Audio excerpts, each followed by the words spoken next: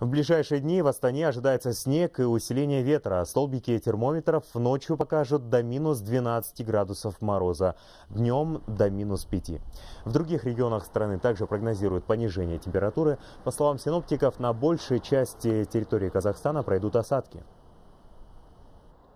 Температура воздуха в западных, северных и восточных регионах нашей республики в ночные часы столбики термометров будут в пределах 10-15 местами 20 градусов мороза, в центральных регионах около 3-8 местами 13-18 градусов мороза.